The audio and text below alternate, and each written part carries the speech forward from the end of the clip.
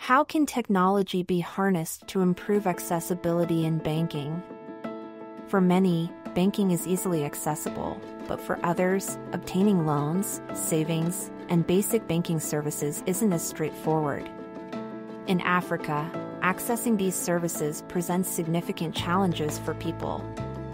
One major part of the problem is that many people in these countries have no credit record, making it much more difficult for them to secure a loan. Another issue is that numerous people are unfamiliar with the financial system and are in need of an easy way to learn how to use its services. The introduction of mobile phones and banking apps in Africa since the early 2010s has significantly improved access to financial services.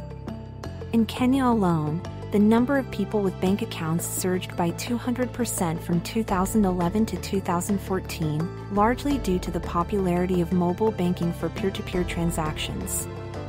With mobile banking growing in Africa, the founders of Jumo asked themselves how they could use technology to push accessibility in banking even further. Jumo is a South African financial technology company dedicated to breaking down barriers to banking services for its users. Its platform directly tackles the challenges hindering users from securing their financial stability. Utilizing AI and machine learning, Jumo creates precise credit scores for individuals without credit histories, facilitating easier access to loans through mobile lending.